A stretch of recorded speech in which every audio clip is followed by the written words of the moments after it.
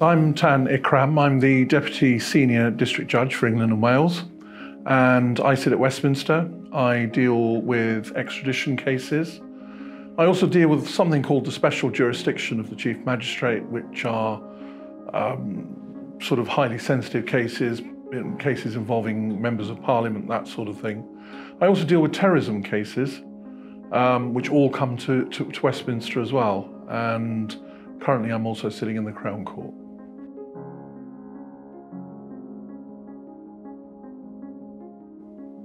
I decided, whilst I was a legal advisor, that um, I could do something on the other side of the bench. So, in fact, after I was a legal advisor, I spent some time in private practice. I ended up prosecuting as well. Uh, I'd done everything round the table, as it were, and I think there came a time when I thought I'd like to make those decisions, and I think I'd be reasonably good at it. Uh, so that's that's the reason why I applied.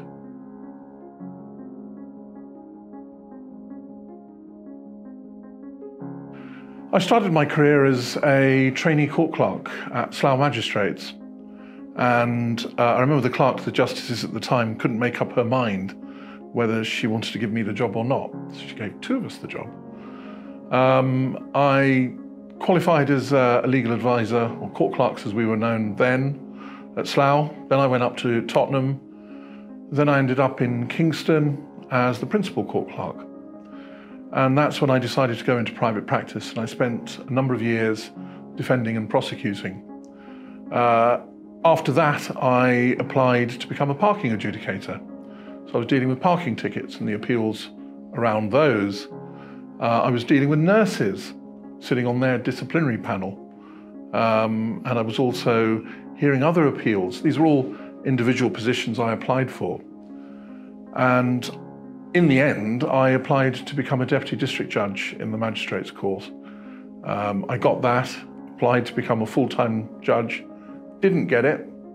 Uh, second time round, I got that. And just to be different, I ended up sitting in Cyprus as well as an associate judge on um, what are called the sovereign bases, which is British overseas territory. So I did a stint out there as well, and that's all prior to doing what I'm doing now.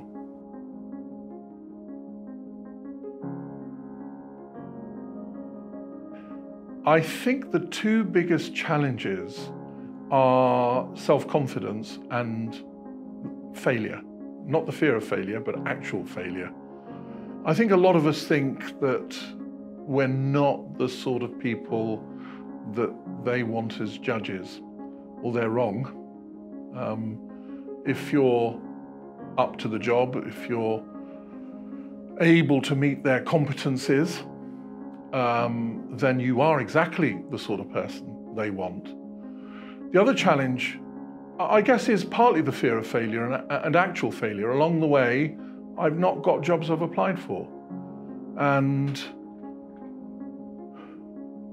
that, that, that can be very difficult, um, picking yourself up, having another go. And for some people, um, that fear is too much.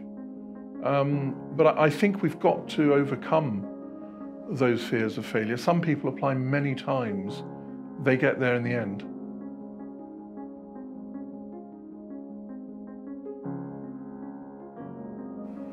The appointments process has changed over the years.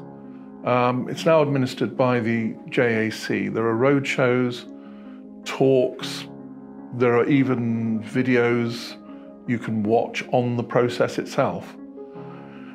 I think the most daunting part is filling the assessment form. It requires evidence. You can't just make statements, you've got to back it up with actual evidence. Finding that evidence can be a challenge.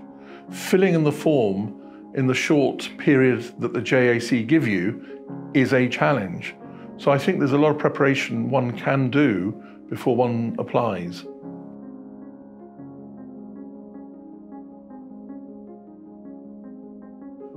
Legal advisors have obvious transferable skills. They know their law. It's a good start to be a judge. Um, but of course, the other thing which I think legal advisors have is that brilliant amazing ability to deal with people. Um, over our careers as legal advisors, we spend years of our life dealing with lay people, dealing with people with disability, people who don't speak English, ensuring that that court process is fair.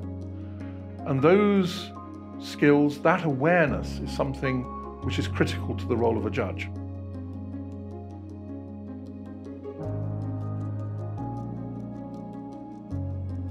The single piece of advice I would give is be well prepared. The application process is grueling. It is intense. That assessment form is going to require evidence. You're going to need to think very carefully about how you fit your experiences, your skills round their competencies. And some think, wrongly, that their experiences don't really match the way they seek competencies. That's just not right. Yes, legal advisors don't have clients, but you have your lay justices, you have your colleagues, you have the people in front of you. So think very, very carefully about how you're going to uh, complete that assessment because that's going to be central and critical as to whether you get appointed or not.